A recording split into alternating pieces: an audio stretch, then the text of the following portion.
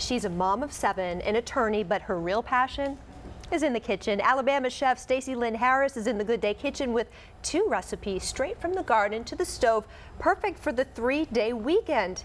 Take us through it. I mean, okay. look at all these amazing ingredients. Well, squash is about to be ready in everybody's garden. Okay. And so this is the, a fresh recipe that I hope that people will absolutely love. Right now, I'm sauteing some um, onions and garlic, which is super easy. And you do the same thing for the chowder over here. Okay. So, and you put bacon in the chowder. Ooh, and that's like, I mean, crazy great. Okay. Yes.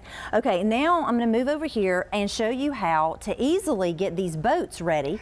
Oh, um, I've been yeah. looking at recipes like this, and I always need to know how to actually get it to look nice. well, it's pretty simple. I'm just cutting this squash right through the middle and I'm going to just take out the seeds. Okay. And the easy way to do this, and here's a really big tip, is to go around the edge mm -hmm. or the perimeter. And, and your, your goal is to make the entire squash the same thickness so that it cooks at the same speed. Mm -hmm. So that's the goal. So I just went around the perimeter and then I'm going to score right. the inside. And then I'm just going to take it, scoop it out, and scoop it out. Okay. And that's really all there is to it.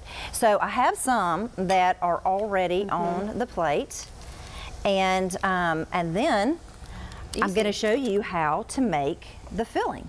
So all you do for that, and you do the same thing with the zucchini. Okay. So you'll do absolutely the same thing. So I'm just, you know, stirring this up, getting that sauteed, and now I'm going to show you what to do here. You're just going to put in some little breadcrumbs. Bread it can be your own that you okay. make or it can be from the store. I'm going to put in about three quarter cup of breadcrumbs. So you have your onions, your garlic, your breadcrumbs. Yes. Okay. Okay. I'm going to put in the tomatoes. And the breadcrumbs just help to soak up that great liquid that's mm -hmm. in here. And we're going to put eggs in in a minute that's going to bind it together and, you know, really make it sure. kind of meaty, even though this is a vegetarian kind of dish. Although I do have some sausage that I'm going to put in a few. Okay. So you can make sausage and make it your own. This is Parmesan cheese, but if you want to put a different kind of cheese, you can put a different kind. And I'm gonna put that in here, and then I'm gonna stir this up, and I'm gonna add an egg to bring it all together. Are we, uh, what temperature are we at right now on the stove? Is it medium? Um, it's medium. Okay. Yes, and um, and and I really just sweated the onions. I didn't saute them, mm -hmm. so I did that on low as well. So I'm just gonna while you're doing this, talk done. about the importance of, you know, using what you have in your garden. So many people are afraid to start their own garden, but is it, is it really that hard? It isn't. Okay. It really isn't. And you can start small. It's not like, you know, you can add to it every year. I mean, just think five years, you would just about have a, a full garden. If you right. did herbs the first year and then you did like tomatoes one year and, um, you know, you did squash and eggplant and you know the next year you're you're getting you know you're you're doing pretty good getting on up there. And it's so much more healthy um, because you know what is in your food. So I love that. And you know but if you don't have room local markets are great. Right. and even um, regular stores like supermarkets are beginning to have you know stuff local. They're buying from local farmers now which is really exciting.